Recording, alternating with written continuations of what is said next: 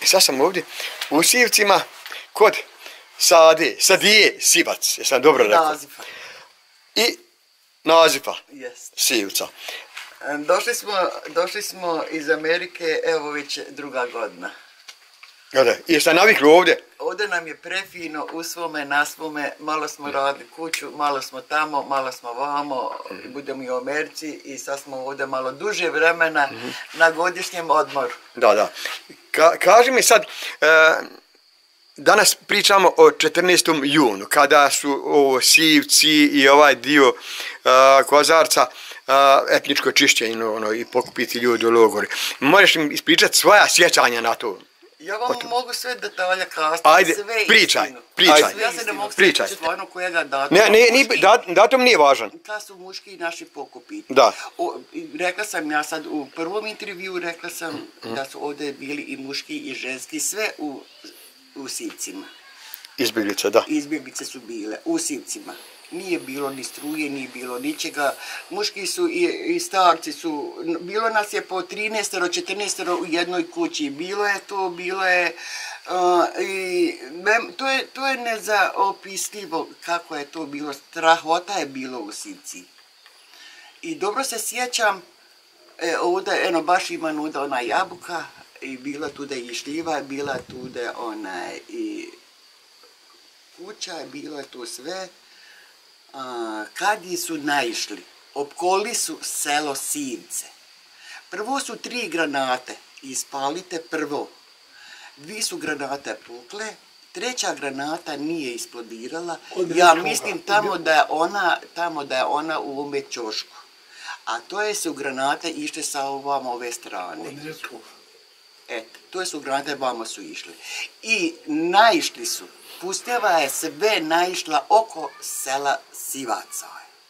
Vojska je, kad je upala u naše ovo selo, ona nije gledala ili djeca imaju 14 godina, ili 17 godina, ili 18 godina, ili 30 godina, ili 50 godina, samo jeli muško, oni su to kupili.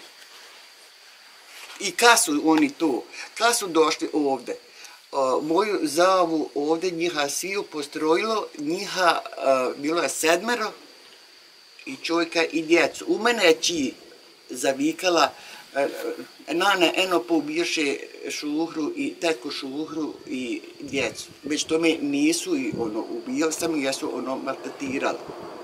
I u mene je čovjek, naziv bio je u kući, ja sam unišla u kuću i sebi udrobila koruze i kisale. Uh, udrobila sebi i da jedem, pošto u- u mene sve, ono se sve to izgledalo. I oni idu, idu preko ove njiva i lupaju na onaj u- od puške u vrata. U mene sve krva izašla i on pitaju ima li, o, dobar dan, dobar dan, ima li ovdje i koliko muški, od muški, uh, u mene čovjek Nasip je uzivo, kaže, imam, kaže, samo, kaže, ja viš nema niko. Hajde, kaže, sa mnom. Ne, pitao Nane, jesi jesi pokazan ili kaže, hajde, kaže, sa mnom. On je bio gumenim čizmama, imao nekakav džemper, imao je nekakav jelek na sebi. I tu su njega odmah su uzeli, ideš za mnom. U mene je sve krva zapomagala i rekla, kud vodite si, ku, kuda ćete sa njim, u stvari. A, on se okrenuo i rekao da jebe Boga i kruh, nemoj sad da i tebe vodimo. I ja sam nju rekla, idi ti u kuću, nema, nema, nema ništa. I ja sam, se, ja sam stojala kod njiha tude i oni su dole pogledali, kaže, ko ima u šumi? Nema niko u šumi, ne znamo niko ni koja ni šta je. Ni znamo šta se dešava u stvari. Kaže on, e sad šta kaže, vi znate šta se dešava? Da nam Alija Izabegović kaže, onaj, to je on tražio. Ja sam se ušutla, vratila sam, oni viđaju stomak predamnom, djeca su unišla u kuću, njega su, e na ome ovdje mosu zarobli su i otišli su gore e, Safata Mehmedakća. On je umro, je i otišli su gore i one izbjeglice što su bile kod Safata iz Bešića, iz Brđana i Safat je bio maloljetan. I bilo je još tude djece maloljetni koji su pokupli sve, digli ru, dične ruke i otišli su, ovda su gore, u žnjivu su gore krenuli i gore su kupli do glavnog puta. Do glavnog puta. To je sve pokupito, to je bila vika, to je bilo pustive, to je bilo ubijanje kod Bege, Sivca. Tu su bila trojca ubijena u grahu, mi kažemo tr, trkljaš, grah i u Kuruzi. E tu su trojca bila ubijana.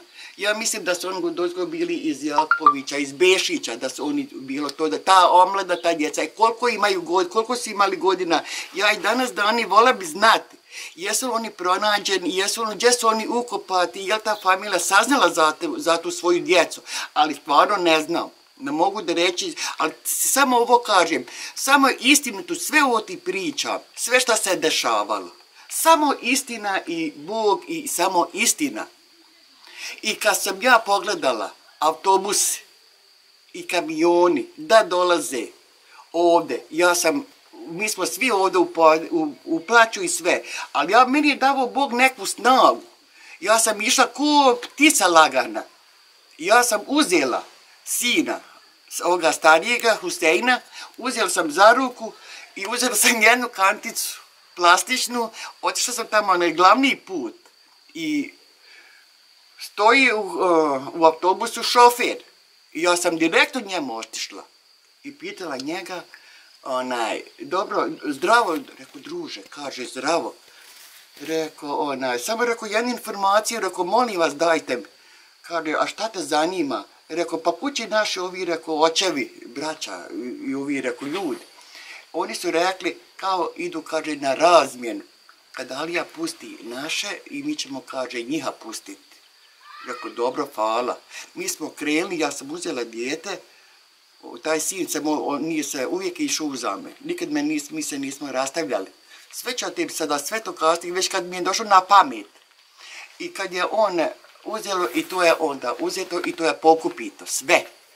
Mi smo sami onda žene ostale ovde, i djeca i starci. Pomaganje majke ovde gdje su nam ošli sinovi, nekome tri, nekome dva, nekome jedan sin, to je ošao po četiri, po pet sinova je otišlo, ali se ne zna ni gdje su, ni šta su. Četiri dana došao je čovjek, pošto sam ja radila u Celpaku u Prijedoru, i došao je čovjek i mene pita, Sado, molim te, jesi li ti čula za kerotem u Prijedoru? Taj čovjek umro kažem ja, ker, nema kerotema u prijedoru. Kaže, ima, malo sam ja, kaže, načuo da su svi naši muškarci otišli u kerotem. Ja koliko znam da ima samo keramika, a nema kerotema. Kaže on meni, pošto ti dola radiš, pošto ti to se radiš, bili ti ikako mogla doći do kerotema toga Rekao, ja mogu otići u prijedor. Ja ću, rekao, potražiti. I ja sam tome čovjeku, to je bio Sadik Sivac. I on je umro, Allah rahmetelje tome čovjeku. Rekao, ja ću otići. Čovjek je, kad je došao ovdje, plaće sad, ja ne znam koliko su, četiri sina u njega su otišla, isto sve u logor. I ja sam ujutro se spremla. I davo mi je nešto Bog snagu nisam se nešto ni bojala, nisam ništa, nešto sam imala, neku hrabrost sam stvarno imala. I kad sam ja otišla dole u Trnopolje, kad sam vidla u Trnopolju šta je tude, okolca, Kozarca, okolca, Kamčana, Prijedora, Enija, sva, koja sva tude u Trnopolju, onda sam, tad sam vidla prvi put šta se dešava. Ja sam uništila, bio već crveni križ otvorit, kad sam ja uništila i rekla sam onome što radi u Crvenom križu. Mogu li ja dobiti proputicu za prijedor? Kaže, a što ti treba? Ja sam njima rekla ovako, ja sam trudna, moram ići na kontrolu u bolnicu. Kaže, možeš. I ja, on je mi davo uputnicu. I ja sam uzela, otišla dole u, na željezsku stancu i sjela u voz, ali ja sam imala toliko nešto hrabrost da mene samo noge nose, nose, nose, nose, ja nisam se uopšte bojala. I otišla sam u svoju firmu u Prijedoru Celpak. Sjetla sam se da je bila plata. Ja sam digla platu i dobila sam svoju platu. I sad sam ja krenula, ja vama sve hoću, ako vi hoćete da ja sve detaljno pričam. I kad sam ja uzela, otišla sam u gore. I ja sad gledam samo je li, nema, znam da u prirodu ne postoji kerotim napis. Samo je pisala keramika. I ja ću idem, na, idem na direktno prema toj keramiki. Bio je punt.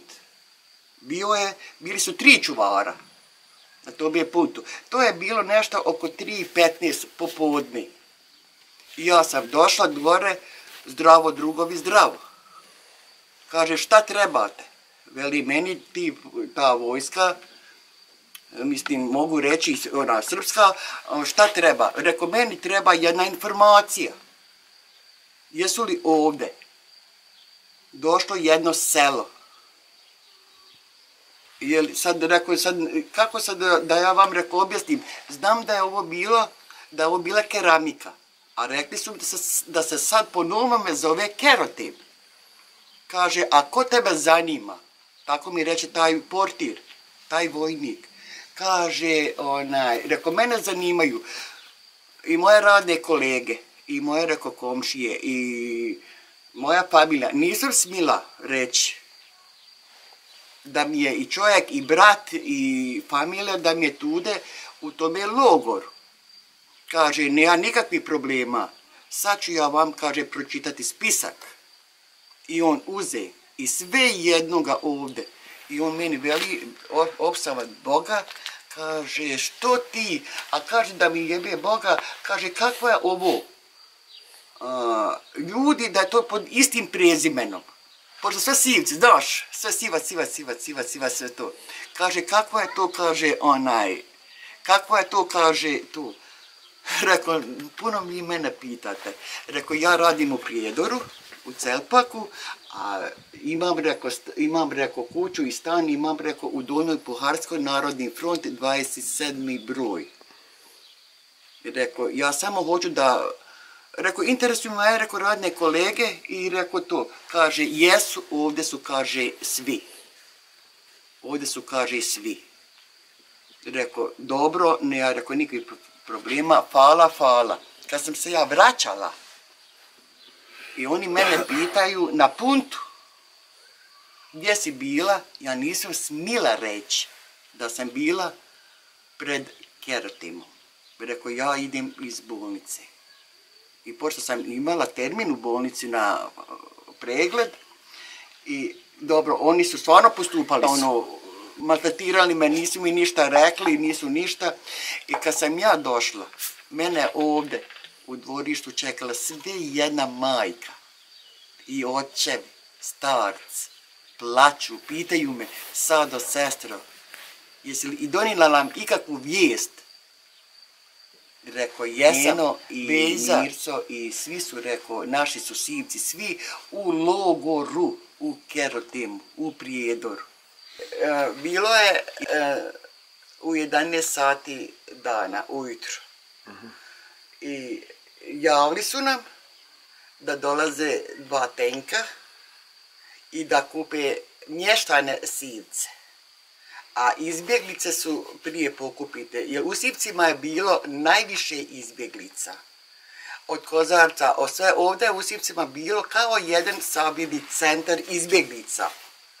E onda su dobili naređenje izbjeglice iz Kozarca, iz Kamčana, iz Kozaruše i od svakvin, da oni moraju napustiti selo Sivce, da moraju ići u Trnopolje, u sabirni centar Logor i nas sve mještane ostavili ovde i mi smo još ovde bili, ja mislim oko, oko još jedan 20 dana, tako je to bilo. Znam dobro da je kiša tu cijelu noć padala i ujutru kad smo ono ustali i ono, dobili smo obavijest. Sad dobro, taj čovjek umro, Jusuf Sivac, on je umro i ja sam tamo ošla na put sa svojim sinom Huseinom da vidim tamo što se dešava i šta ima i kako je stanje. E, mi smo tamo, onaj, kad smo otišli, e, čovjek je prošao komšija i svaka mu čast. On je bio, pore, mislim, po nacionalnosti, bio je Srbin. Ja mu se puno, puno zahvaljivam što je tako lijepo postupio prema nama komšijama sivcima. Što je rekao, e, spremte se, jer iće vojska crvene beretke. Sa čija to vojska bila? Mislim, nacional, mislim, znam da su bili nacionalnosti e, Srbi. Ali, kaže, kup, pokupite se sve na vrijeme, pošto ste vi sami ovdje mještani ostali. Žene i starci i djeca da vi idete pravac za Trnopolje. Jer ako, ne znamo, kaže, kakva će ta vojska biti. Mogu biti pjani, mogu biti agresivni, mogu ili mora biti i ubijanja. Među tom je vremenom, to se stvarno tako i desilo. Ja sam došla kuć s puta i rekla ovdje svojoj svekrivi zavi, ovoj gore djeci, u mene kuća je 14. 14. dan, kad je kozarac pavo, u mene kuća zapalita, četiri su kuće zapalite i onda ja sam hodala sa djecom. O, ja sam hodala sa djecom i po kućama i ono svašta sam bila tuda, hodala sam i kad sam ja njima došla rekla pakujtemo se, idemo za Trnopolje u 11 sati. Ujutru ide tako etničko je čišćenje.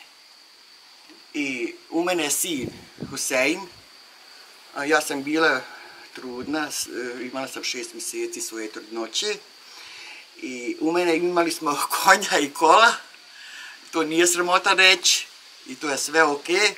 I u mene je sin upatio konja i kola Platon je stavio i u mene dolova zava isto imala je sedmero, osmero djeci, ovi djeci i mi smo uzeli tamo na put i od ozdo je sve krenulo, mi mještani Sivc, krenuli su dole prema Trnopolju.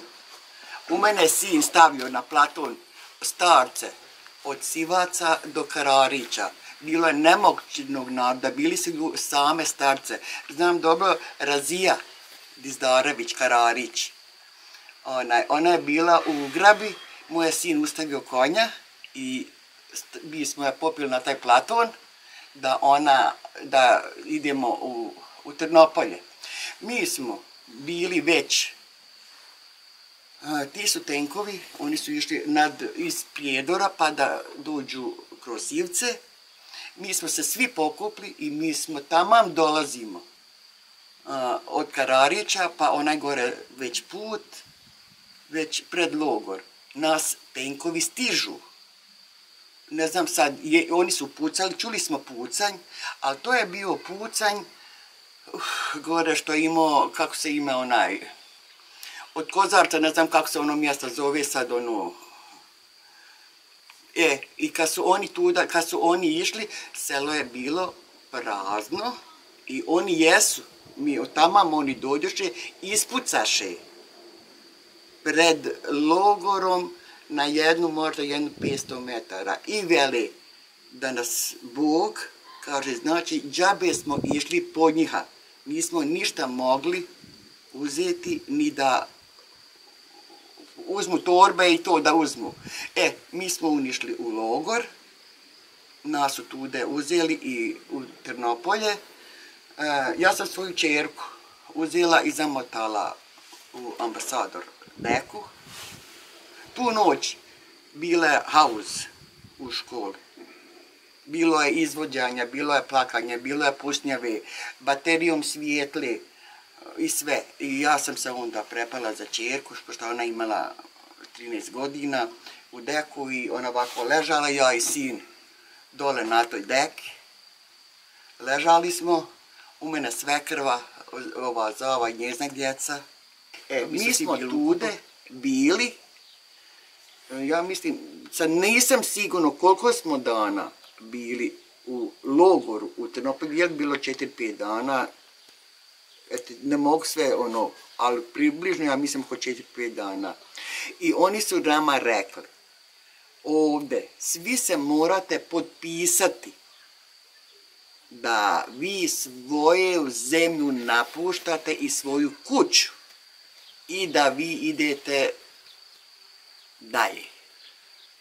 Neko se uspio potpisati, neko nije, neko ovo, neko ono, upata se velika panika. E, u pola jedan dana dovezli su teretni voz. Bio je, ja mislim, oko 9-10 vagona bez prozora. To su teretnjaci što se vuklo e, stoka, šta ja znam šta se vuklo sa tim teretnim vozom. Uopšte nije bilo prozor, nije bio normalni voz, nego teretni voz.